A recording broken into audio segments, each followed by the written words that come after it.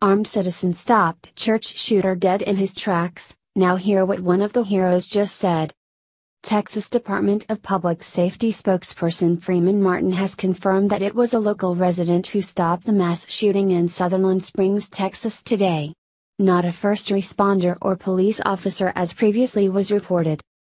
The man who is now, rightly so, being lauded as a hero is a neighbor of the church who when he heard the shots he grabbed his own shotgun and went out to the scene. A gunfight ensued between him and Devin Patrick Kelley, who was mortally shot in the exchange.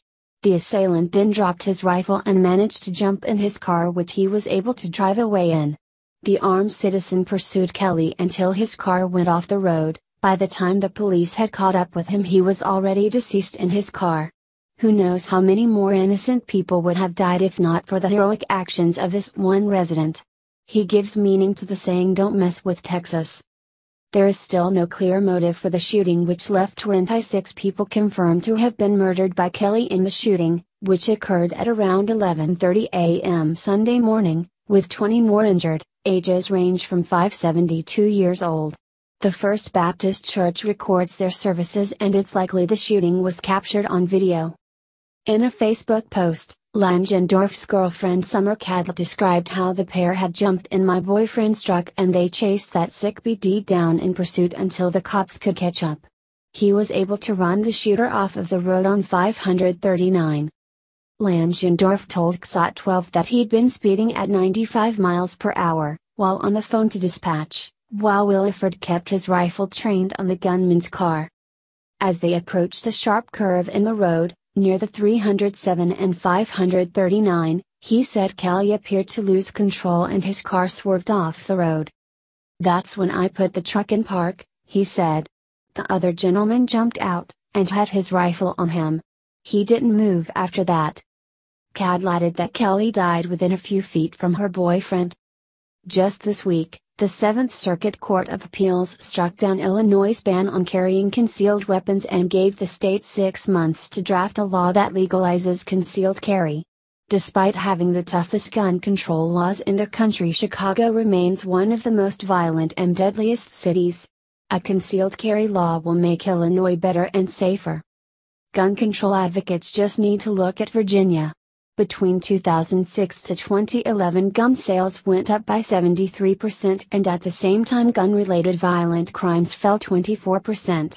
Virginia Commonwealth University professor Thomas R. Baker, who specializes in research methods and criminology, said this proves that more guns do not in fact cause more violence.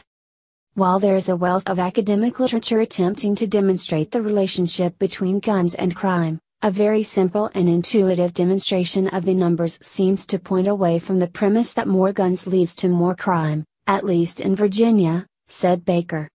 Baker examined six years of data from the Virginia Firearms Transaction Center that broke down the number of gun transactions for every federally licensed firearm dealer in Virginia background checks went up from 243,251 in 2006 to 420,829 in 2011. In 2006 there were 23,431 violent crimes in Virginia and dropped to 18,196 in 2011. Handgun purchases increased 112% between 2006 to 2011 and violent crimes committed by people of using handguns dropped by 22%. Guns are a major part of Switzerland's culture. Instead of a standing army they have a militia. Men between the ages of 20 and 30 are put into the militia and undergo military and weapons training, which means Switzerland has one of the highest gun ownership rates in the world.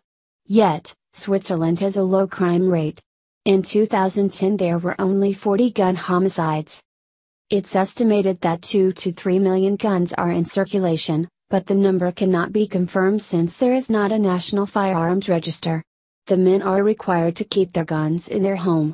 Enlisted personnel receive the 5.56 by 45 and SIG 550 rifle while officers, medical and postal personnel could receive that gun but also the 9mm SIG Sauer P220 semi-automatic pistol. When their service is over they can opt to keep their weapons and other items.